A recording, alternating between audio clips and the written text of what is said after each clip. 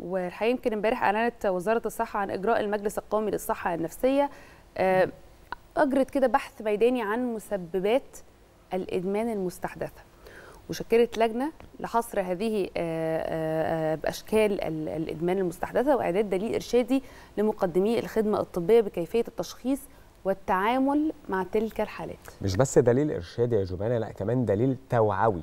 بيوعي آه، يعني الناس بخطورة ده تحديدا ومخاطر ومسببات الإدمان المستحدثة وكيفية الوقاية من هذه المخاطر لا قدر الله. خلونا نعرف تفاصيل أكتر من الدكتورة منال العطار رئيس الإدارة المركزية للأمانة الفنية للمجلس القومي للصحة النفسية. ضيفتنا العزيزة اللي منورانا في الاستوديو صباح الخير يا دكتور. أهلا صباح الخير. صباح الخير يا فندم. أهلا بيكي يعني إيه ما ما مصطلح المسببات ال- ال- الإدمان المستحدثة. إيه هي أشكال الإدمان المستحدثة؟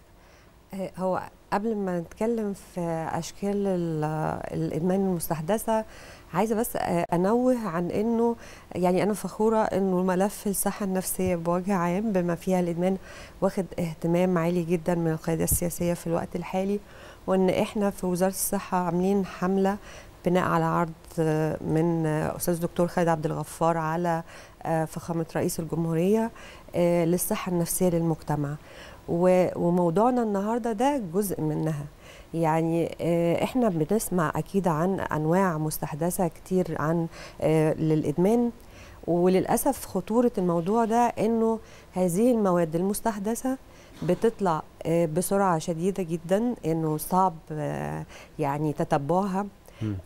ما بنبقاش عارفين إيه هي. هي مجموعة خلطات غريبة ما هياش الحاجات الطبيعية اللي كانت متعارف عليها. ف- فبتفاجأ انه آه، انه في اعراض آه، جديدة جدا مش معروفة مش موجودة أصلا في الكتب. وده بيلجأ ليها آه، يعني آه، العاملين في في ال- اللي هم بي- بيتاجروا في المخدرات صحيح. بيلجأوا لذلك لأنه يعني جهود المكافحة بتقلل المخدرات الموجودة. آه، فهو علشان يعوض النقص ده وعلشان آه، نجيب مفعول أسرع ونقلل التكلفة بتاعة ال- المواد دهيت فنقدر يعني نوزع أكتر ده بيخلي إنه نعمل خلطات مش معروف إيه هي مم. فده بيبقى عيبه عيبه إيه أو مشكلته إيه إنه الاستاف الطبي ما بيبقاش اوير بيها أو بيبقى مش عارفها مم. هي جديدة، مش معروف بيها. هي مش معروف إيه هي أصلها مم. يعني هي حاجات خلطات غريبة بتتعمل يعني مش معروف إيه هي ما بيبقاش عارف الأعراض بتاعتها وبالتالي بنفاجأ بشباب صغير آه، مثلا آه، يعني لسه ما بلغش من السن إنه يعاني. من أمراض. عضوية عالية تلاقيه جاي للعناية المركزة أو الطوارئ بازمات قلبية وحاجات وبعدين تكتشف إنه دي مواد هو واخدها يعني آه وبعدين كمان آه هذه المواد سرعة آه إطلاقها يعني بتخلي إن هي عملية تجريمها بتاخد وقت لأنه إحنا المفروض الم- المادة علشان تبقى مجرمة تنزل في ال- في الدليل في ال- في جدول المخدرات. فالسرعة دي هي المادة لازم تتحلل الأول ولازم صحيح. تكتشف قبل ما أعتقد تدرج يا يعني دكتور مش هيحصل غير بالبحث الميداني بالظبط كده أهمية ده بقى البحث الميداني في آه، الموضوع ما أهمية. ده بقى يعني هو آه، أستاذ دكتور خالد وجه بده إن إحنا وزير نبتدي التعليم العالي آه، آه، وزير وزير الصحة آسفة. آه مع آه، وجه بإن إحنا نبتدي البحث الميداني ده بحيث إن إحنا نبقى أكثر سرعه في اكتشاف هذه المواد هي الجهود موجودة طبعا من زمان ومتابعة الحاجات دي موجودة ولكن هو عايزها تبقى لحظية. آه بحثية وتبقى متاحة للفريق العلاجي باستمرار. يعني نبقى عاملين ابديت طول الوقت. يعني بحيث إن هو يقدر يتعامل مع المريض يقدر يوجهه. آه، نقدر على أساسها نعمل حملات توعية آه، بالمخاطر بتاعة الحاجات دي بال- بالأعراض الجانبية بتاعتها. ف... فنبقى بنحسن في الخدمة بتاعتنا وبنحمي ولادنا أكتر وأكتر يعني. مهم. طيب آه خلينا نعرف من حضرتك على أساس هذا البحث الميداني. آه هل تم رصد في الفترة الأخيرة لأنواع مستحدثة بالفعل؟ آه ولو آه إيه اللي حصل؟ يعني اتصرفتوا إزاي على على يعني حسب هذه التقارير؟ هي هي أي حاجات مستحدثة آه، بتكتشف بيتم طبعا الإبلاغ بيها بتدخل جدول المخدرات وبتبقى في التحاليل اللي هي موجودة في المعامل بتبتدي تدخل في التحاليل آه، بتبتدي في الأكمنة وال. والتحاليل المفاجئة دي تبقى انفولفد برضو تبقى داخلة فيها آه، فدي ميزة يعني بتبقى عالية يعني إن إحنا بنبتدي نكتشف ونقدر نعرف يعني لأنه لو إحنا مش عارفين مش هنقدر نحلل ومش. هنقدر نكتشف يعني. طيب إيه أنواع ال- الإدمان بقى المستحدثة يا دكتور؟ يعني من خلال البحث الميداني أكيد اكتشفتوا حاجات هو- جديدة هي دخيلة علينا. هو إيه أنا زي ما قلت لحضرتك هي مجموعة خلطات بتبقى مش معروفة مش حاجة معينة. آه، يعني كان كان منها الحاجات اللي كانت منتشرة قبل كده اللي هو الفودو والستروكس والحاجات دي. هي دلوقتي بقت أقل يعني بعد ما تم اكتشافها. بس هي كانت بتبقى خلطات بقول لك غريبة جدا. يعني ممكن يبقى فيها مواد كده سامه آه، حاجات مبيدات حاجات يعني هي مش بتبقى مواد معينة اللي هي المخدرات المتعارف عليها يعني. طيب برضو آه، دكتور ممكن حد هو بيسمعنا دلوقتي يقول ما هو يعني آه، آثار الإدمان هي هي. يعني لا. ايا كان هو غياب غياب العقل آه. مثلا الوعي. آه. وغياب آه، آه، الوعي وغياب الإدراك في التصرفات والسلوك وما إلى ذلك. لكن مؤخرا بالفعل شفنا حتى يمكن فيديوهات موجودة فعلا على آثار مثلا زي ما حضرتك قلتي أنواع مختلفة من الفودو والأسامي دي كلها. آه. إيه الاعراض الجديده اللي لما ظهرت ابتدى يحصل فيه قلق أو علامات استفهام انه في انواع جديده دخلت؟ بيبقى م- ال- السلوكيات المختلفة اللي هي مش متعودين عليها زي حالات الهياج الشديد الاعتداءات على الآخرين مثلا النوبات القلبية والأعراض يعني الجسمانية اللي بتحصل تضطر إنه الناس تروح الطوارئ وتروح ال- ال- الرعايات المركزة. دي كلها حاجات كانت لافتة للنظر يعني. آه، إنه في تغيير ومن هنا بقت ال- ال- الجهود بقى ابتدت تتوجه ناحية اكتشاف إيه طبيعة الحاجات دي يعني. صحيح. مم. طيب هل إحنا عندنا حصر بعدد المنشآت اللي بتعالج الإدمان بشكل عام؟ هو إحنا عندنا آه، هو ده هو المجلس القومي للصحة النفسية آه، م- منشأ بموجب قانون رعاية المريض النفسي. ودي حاجة نحب برضو يعني منشأ بموجب؟ آه آه، قانون رعاية المريض النفسي. ودي حاجة آه، لينا الفخر إن هي موجودة في مصر إن في قانون لرعاية المريض النفسي وإنه أنشأ مجلس قومي للصحة النفسية مهمته إنه يعني آه، يحمي المريض من من أي يعني آه، انتهاك لحقه جوه المستشفى. تنمر. آه آه، يعني ايا كان أي تقصير هو الموضوع مش مش قصة تنمر.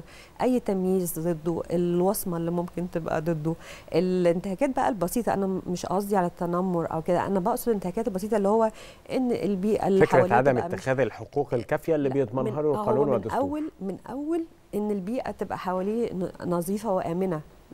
إنه يقدر يقابل يبقى له زيارات إنه يقدر يقابل محاميه لو عايز إنه إنه يعرف مين الفريق العلاجي وكل واحد شغله إيه في الفريق إيه الخطة العلاجية اللي هو هيتعالجها يوافق على العلاج أو يرفضه. مجموعة حقوق عالية جدا موجودة في القانون بتاع رعاية المريض النفسي ودي حاجة يعني آه، نفخر بيها يعني إن هي موجودة. نرجع بقى ال- القانون أنشأ المجلس والمجلس مهمته الرقابة على المستشفيات الحكومية والخاصة مم. اللي بت- بتحجز المرضى النفسيين أو بتعالج المرضى النفسيين في الأقسام الداخلية آه، آه، بلغت المنشآت اللي هي التابعة للإشراف المجلس 192 منشأة آه، حكومية وخاصة مم. آه،.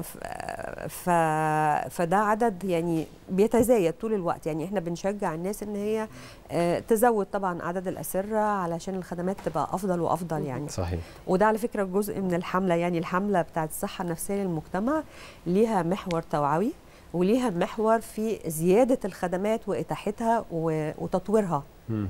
وبالإضافة للمحور البحثي اللي هو منه هيبقى البحث الميداني. وهنا بنتكلم التطوير اللي هو تطوير يتواكب مع وسائل الإدمان المستحدثة. مع معاها ومع غيرها. يعني إنه يعني العلم طول الوقت بيتقدم في صحيح. كل المجالات.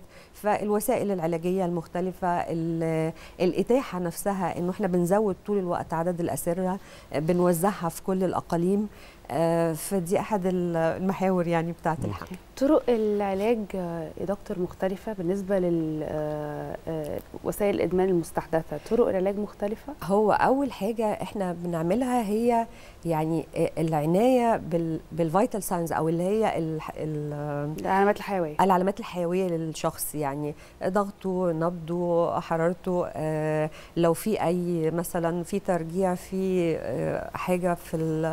في القلب حاصلة دي بتبقى ال- المرحلة الطريقة يعني اللي هو إنقاذه يعني اللي هي الحالة ال- مم. حالة الطوارئ يعني مم. بعد كده ما بنبتدي نتكلم بقى مع العيان ونعرف يعني الموضوع ابتدى إزاي وأخد إيه ونبتدي نبقى أكثر تحديدا يعني.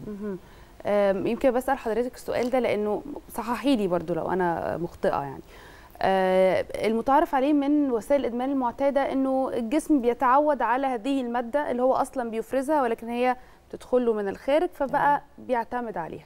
تمام. اللي سمعته أو اللي بنقراه إنه في بعض آه، من آه، مواد الإدمان المستحدثة مش فكرة إنها آه، بيبقى فيها مواد كيميائية من الجسم بيفرزها لا هي بتعتمد على الجهاز العصبي. أيوه. تدخل على الجهاز العصبي وإن دي بيكون ضررها أكبر بكتير.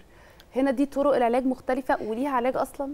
هي أي مادة إدمانية. هو هو تعريف الإدمان نفسه إيه إنه إنه الشخص بيوصل لدرجة من الاعتمادية على هذا المخدر. يبقى مش عارف يعيش من غيره يبقى كل وقته وكل مجهوده موجه لإنه الحصول على هذه المادة بأي طريقة وأي مادة علشان تعمل تعود بيبقى ليها تأثير على الجهاز العصبي فدي حاجات عامة بالنسبة لأي مادة هيدمنها الشخص يعني. طيب هل في يا دكتور أمراض نفسية بتصيب الشباب أكتر من كبار السن؟ ولا المرض النفسي هو واحد ايا ما كان السن؟ هو المرض النفسي طبعا بيبتدي في سن صغيرة يعني في كتير قوي من الأمراض النفسية بتبتدي في سن صغيرة. يعني الأمراض النفسية المرتبطة بالسن الكبير بتبقى يعني آه، يا إما ال- الأمراض اللي هي زي ضعف الذاكرة يعني الزهايمر والألزهايمر، والشيخوخة وال- آه يا إما يعني ظهور المرض النفسي في سن كبير لأول مرة غالبا بيكون وراه سبب عضوي يعني. لكن عادة هي بتبتدي في سن مبكر شوية وتمتد مع الشخص يعني. طبعا إحنا لو ابتدينا العلاج مبكر وبقى فيه زي متابعة مستمرة ده بيحسن مقال المرض جدا آه، بيقلل أي مضاعفات ويقدر الشخص يعني يمارس حياته الطبيعية بشكل أفضل يعني. وخصوصا إنه ال- الدراسات الاقتصادية بتقول إنه الاستثمار في مجال الصحة النفسية يعني أي الدولار اللي أنت بتصرفه في لل- في الصحة النفسية أو في العلاج الأمراض النفسية بيوفر لك 4 دولار قدامه آه، للدخل القومي. بتاع البلد يعني. فطبعا الاهتمام آه، بالمرض النفسي وبعلاجه آه، حاجة مهمة جدا. وعايزة أقول إن المرض النفسي دلوقتي يعني ال- الاكتئاب مثلا ده من الأسباب ثالث سبب لعبء المرض نعم. آه، بوجه عام يعني. بكل تأكيد. طيب دكتور خليني أرجع مرة أخرى للمنشآت الصحية آه، اللي من دورها آه، علاج الإدمان أو حتى المصحات النفسية اللي بتعالج أو بتؤهل مرة أخرى مرضى الإدمان. هل في منشآت آه، متخصص يعني منشآت بهذا التخصص أو لهذا ال- ال- السبب تحديدا غير مرخصة وإزاي لو في أسر تعرضت لهذا الموقف واكتشفت إن هي آه، أولادها داخل منشأة غير مرخصة آه. يتصرفوا إزاي؟ آه، هو يعني هو ده أحد مجال شغلنا في المجلس يعني إحنا بنتبلغ بالحاجات دي وإحنا طول الوقت بندور عليها أصلا يعني. مم.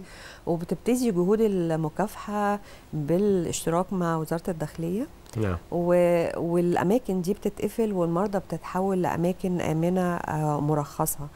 آه، بس أنا حابة يعني أقول في الحتة دي إنه إنه ال- الأهل أو المريض عليه إنه يتحرى الدقه قبل ما يروح لأي مكان يعني إحنا عندنا في المجلس في آه، دليل خاص بالأماكن المرخصة هل في خط ساخن ممكن آه, آه ممكن نقوله لحضرتك يا ريت يعني. اتفضلي. آه حاضر رقم إيه رقم الخط الساخن؟